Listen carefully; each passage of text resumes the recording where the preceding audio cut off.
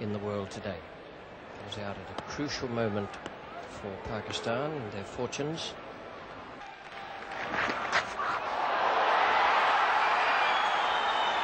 Imran Khan's not moving, Vishwanath is.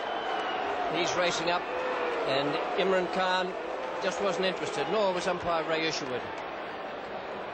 Well, I don't know why, because it looked out to me. Umpire Ray Isherwood standing in this, this final, went for the hook shot, sounded like a glove or something. It looked out. Let's watch this closely.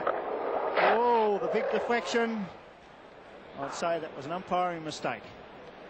As Viswanath, the bowler, all the fieldsmen go up. Imran Khan stands his ground in a controversial moment in the World Championship of Cricket, the MCG.